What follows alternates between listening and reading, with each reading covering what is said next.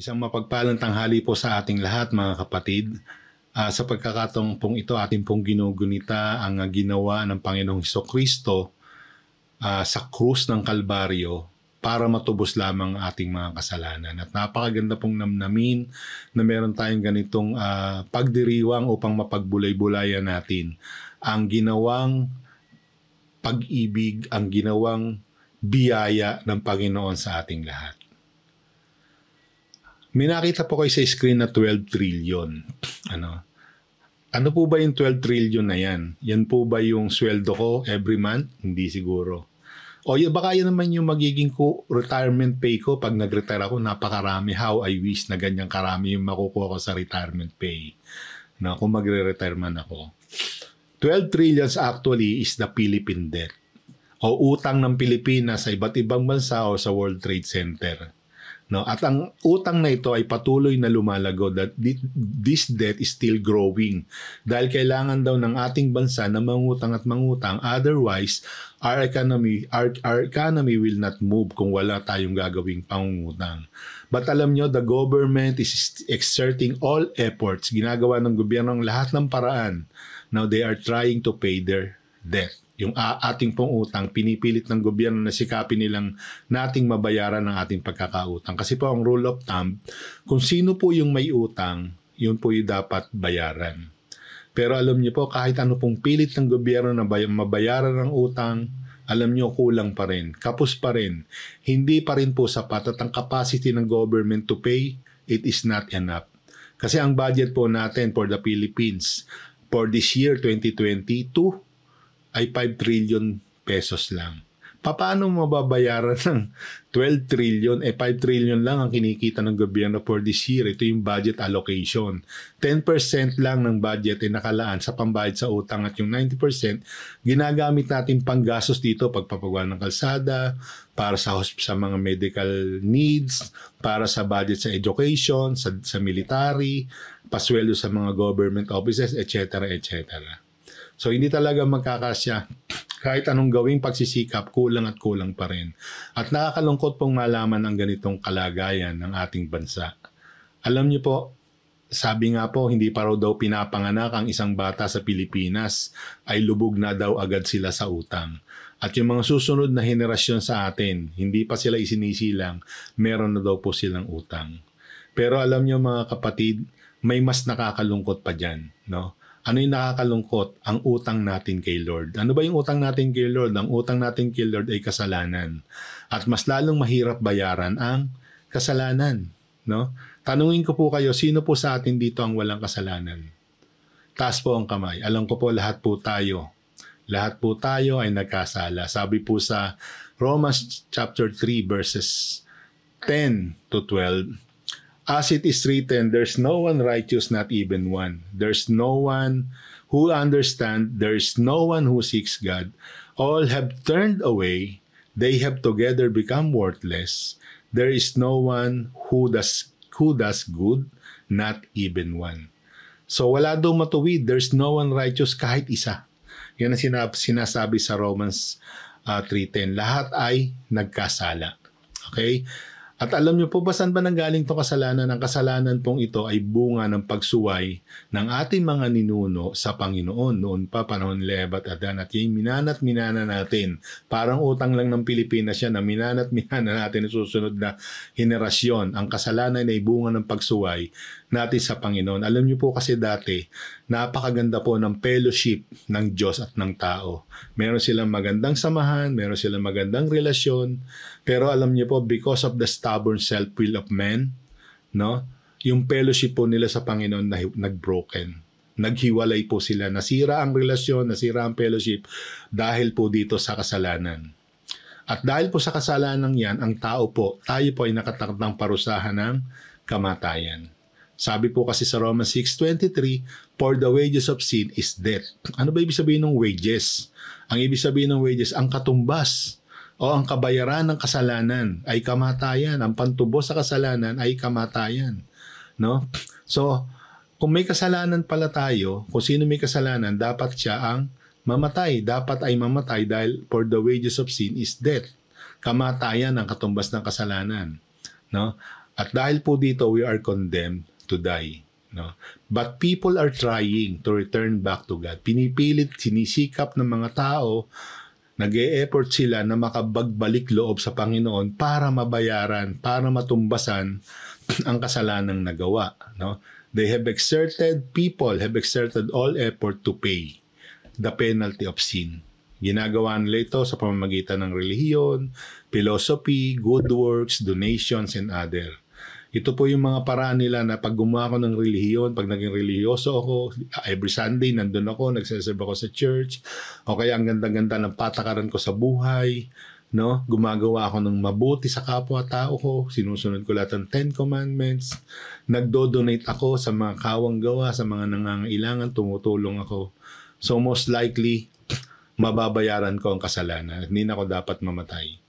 No? Kagaya ng Pilipinas, no? Mga kapatid, napakahirap, imposible, kulang, kapos at hindi pa rin natin kaya. Ano man ang effort na gawin natin, impossible na mabayaran natin ang kasalanan natin. Alam niyo bakit? God standard is very high. Napakataas po ng pamantayan ng Panginoon. Sabi sa Romans 3.23, For all have sinned and fall short of the glory of God. Ang lahat ay nagkasala at hindi niya mapantayan. No? Lagi siyang fall short No, hindi niya maabot ang pamantayan o standard ng Panginoon. Lahat ay nagkasala. So kung ano man gawin natin, relihiyon, philosophy, good works, or whatever, just to reach the standard of God cannot be. Kasi lahat tayo ay makasalanan and hindi natin marireach ang standard ng Panginoon. Mahirap maabot ang pamantayan ni Lord. Laging kapos, laging may kulang.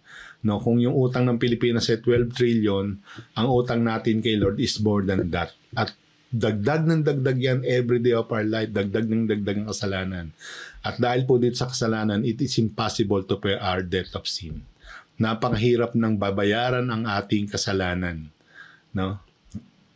So anong pwedeng maging resulta dahil hindi natin kayang magbayad? All people are condemned to die and be punished sa impyerno. Mga kapatid, sino sa inyo ang gustong pumunta sa hell? Wala naman siguro. Taas nga ang kamay dito hindi ko man kayo nakikita, gusto nyo bang pumunta? I know, walang may gusto. Kasi alam natin na ang buhay sa impyerno ay napakahirap talaga.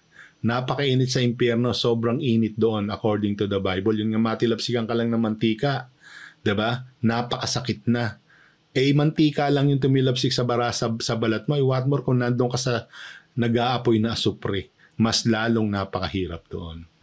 So, wala pong may gusto doon. Pero the rule of thumb, the wages of sin is death. No? Ang katumbas daw ng kasalanan ay kamatayan and that death is death from hell.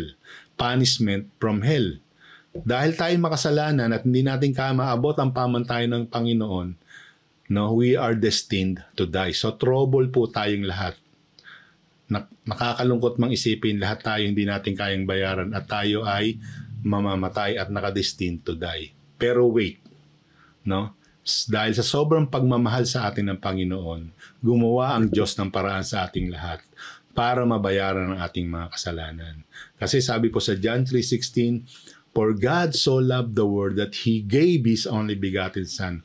Ganun na lang yung pag-ibig ng Panginoon sa atin ay binigay niya ang kanyang buktong nanak. Ang sino mang manalig at manampalataya ay hindi mapapahamak bagkos magkakaroon ng buhay na walang hanggan. So dahil sa pag-ibig ng Panginoon sa atin, kahit di tayo karapat dapat, binigay niya yung kanya nag-iisang anak, no? Para mabayaran yung ating mga kasalanan. At ito po ay libreng biyaya sa atin ng Panginoon.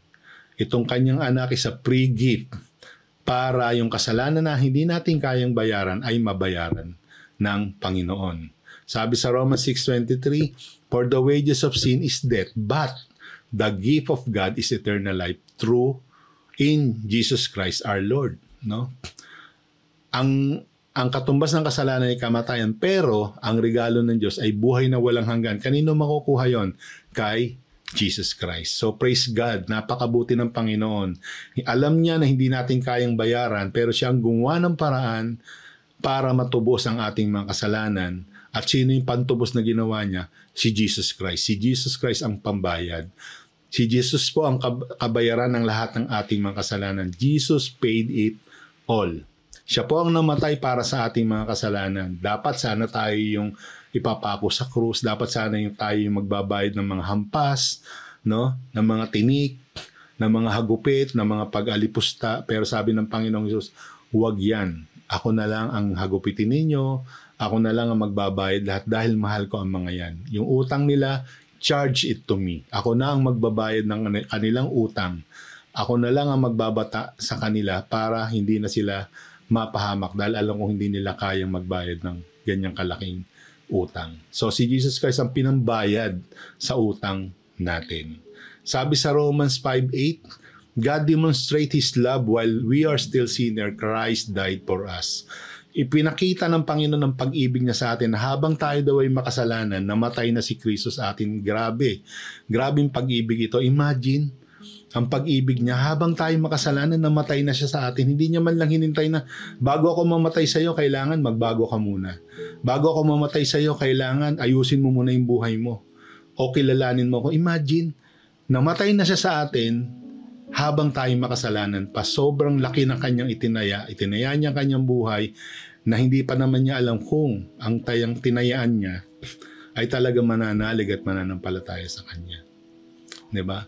So mga kapatid, ngayon pong Holy Week sana. Sana po alalahanin natin ang pag-ibig at biyaya ng Diyos sa atin. Di man natin kaya magbayad ng ating mga kasalanan, lagi tayong kapos, ano man ang gawin nating effort, kulang at kulang pa rin. Kahit mag-serve ka ng mag-serve, kulang at kulang pa rin. Hindi po yan ang pamantayan ng Panginoon para tayo ay matanggal at maalisan ng kasalanan. No, kahit anong effort ang exert mo, hindi natin kayang bayaran yan. Kaya ang Panginoon, siya ang gumawa ng kabayaran. Ang Diyos ang gumawa kung paano mababayaran ng ating mga kasalanan. At yan ay sa pamamagitan ng kanyang anak na si Heso Kristo. Jesus paid it all. Binayaran lahat ng Panginoon ang ating kasalanan. Siya ang nagbayad, no? Kung meron tayong 12 trillion na utang, mababayaran niya ng gobyerno. Pero ang kasalanan natin sa Diyos, walang ibang pwedeng magbayad maliban sa Panginoong Iso Kristo. Siya lang ang may katangi-tanging uh, kakayanan upang bayaran ng ating mga kasalanan. So mga kapatid, maraming salamat. At sana itong ating uh, uh, Holy Week uh, celebration o pagdiriwang ng ating uh, uh, Holy Week sa linggong sa sa mga araw na ito, lagi nating isipin no na tayo ay makasalanan pero dahil sa pag-ibig ng Diyos, ibinigay niya ang kanyang nag-iisang anak para matubos tayo, para mabayaran ang lahat ng ating mga kasalanan. Tayo ay malibre lahat ng kasalanan na lipat sa Kanya upang tayo maging katanggap-tanggap doon sa Kanyang kaharian. Napakabuti ng Diyos sa atin. At nawa, ang kabutihang yan, i-treasure nating mabuti, mas marami pa tayo dapat mashiran ng ating mga mga kasamahan upang maintindihan din nila samantalahin natin yung pagkakataong ito na maintindihan nila ang pag-ibig at biyaya ng Panginoon sa ating lahat. So magandang tanghali sa ating lahat at uh, mag-ingat po kayo palagi. God bless us all.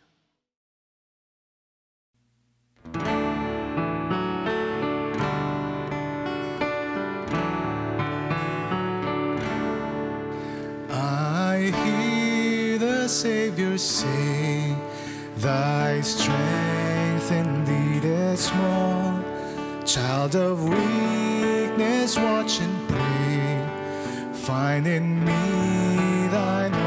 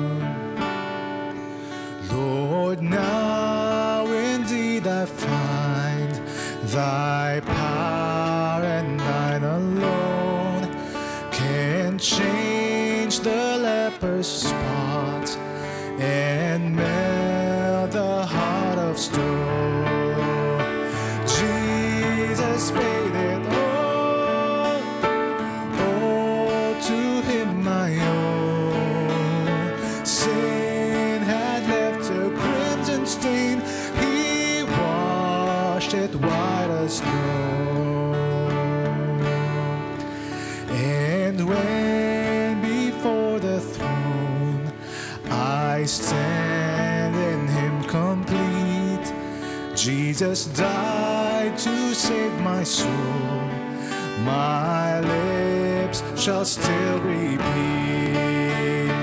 Jesus paid